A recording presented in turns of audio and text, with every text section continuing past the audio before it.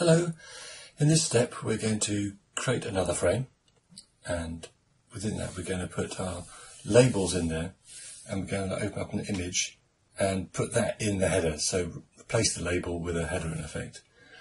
All right, let's try and open up the. Oh, God, it's not working, is it? Uh, go on, drag over. There we go. Okay, so within the project here, I've got a file here called saveourtown.png. There's actually an image, but there's some text in there saying "Save Our Town." It's part of the um, Stop the Hacker campaign, and we're going to put that one into our header. So let's just close that down, and I'm going to close down that image tab.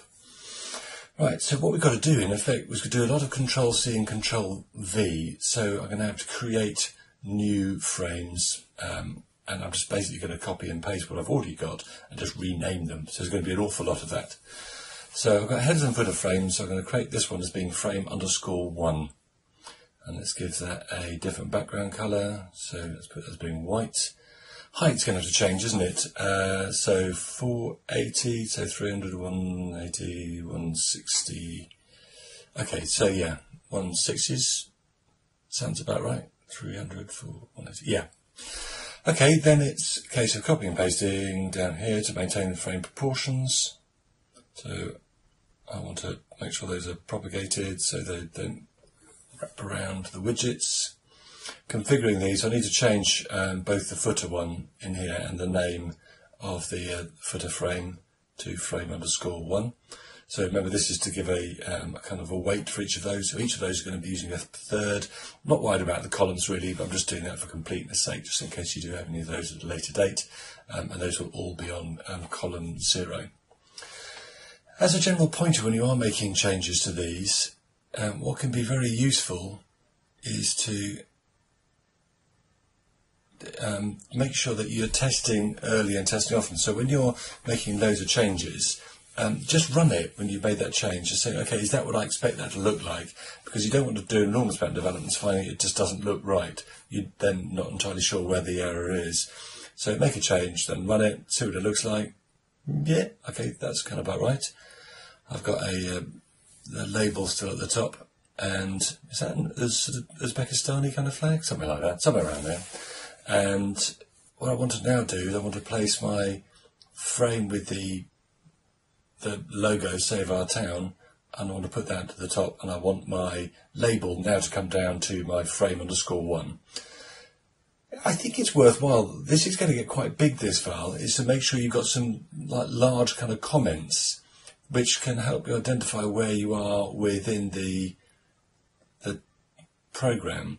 So it, it becomes quite hard. You're scrolling up and down. You're trying to find exactly where you are. And this is going to get large, but obviously some programs get much, much larger.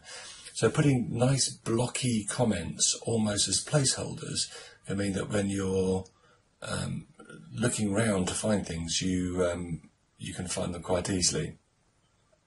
So I'm going to copy that, and I'm going to go and paste that area there, and that's going to be well, it's going to be my um, frame underscore one. So I'm just going to put a space between that and then control C and then control V, control V, control V, control V. And I'm just going to say that there will be the instructions finally. So let's give that a, a meaningful name. And I'll create another one there for the footer, which is going to have buttons in it actually. But let's put footer, footer, footer, footer. Control C, Control V, Control V, Control V, Control V, and change instructions there for buttons. So I'm scrolling up and down. Those large sections are easier to see, uh, and you're less likely to get lost um, within them. Right, I want this to be part of frame one, so I'm going to change the header underscore there to frame underscore one. Quite easy to, to make that change, and I'll look at that one. I can see, yep, that has now moved to that particular point. I'm sort of happy with that. Right, so up here, what I want to do is I want to create a uh, another kind of label to be able to stick the image in. Um, I'm going to call this one label one and label one just because those are going to be into the frame one, just to identify the difference. Actually, the system seems to be quite good at having ones of the same name, but I find that would be potentially confusing. Okay, so previously we've displayed a uh, um, something which, well, let's first let's create the image first of all. So my image equals, and it's going to be a photo image. Where is it? Well, it's within the same path as the, uh, the, the project as this particular Python file. So I don't give it the whole path. I can give what's called a relative path. So I'll just say basically the file equals. I just have to give it the same name. So it's save our town, all one word. Dot .png, and of course you should find this in the resources. And then I'm going to create myself.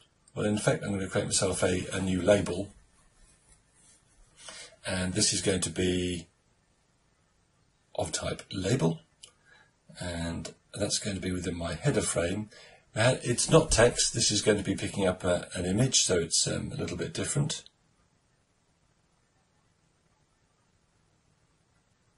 And that's going to equal the my image which I've just created, so in effect in there I'm putting that. I've created it, but it hasn't placed it anywhere, so I need to say, okay, please can you put that in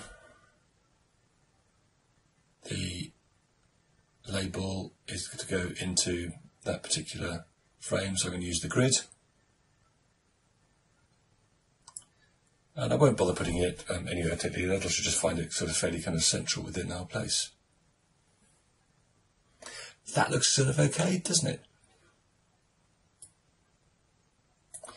I could guess I could say on different rows, um, east or west. I can muck about with columns maybe to position it, but actually I want to have this central. If I chose east and west, then actually we would have like a banner all the way across the top. I'm probably ultimately going to change that background colour to being white anyway, so it won't be too much of a, of a problem. And it's pretty much the same height as we're going to need for the final one.